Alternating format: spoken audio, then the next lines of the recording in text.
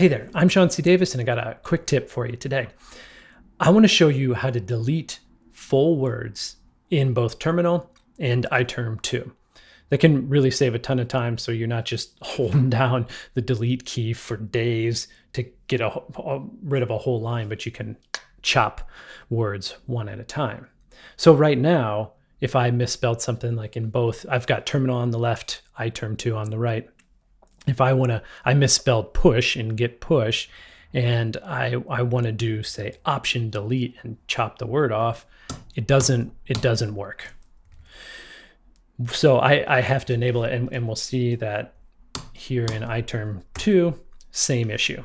So what I'm going to do is I'm going to go to my preferences in terminal.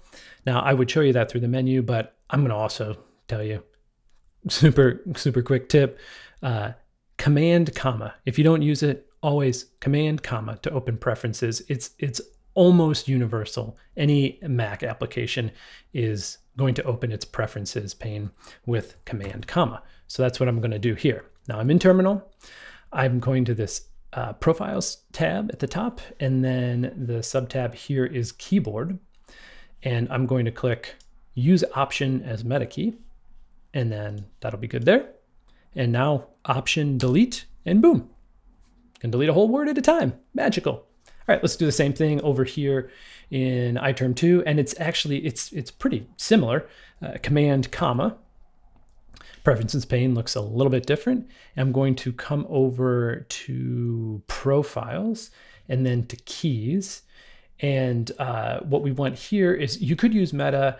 Uh, the recommendation is that we do escape plus. And you could do it for both right option and left option. Sure, I tend to only use the left option, but we'll just do it for both. Get rid of that. And now option delete. Boom, look at that. That was amazing. So use that, enable whichever, uh, whichever application is your preference, enable that, and you can move a little bit faster. Hope this was of good use to you, and I will see you next time.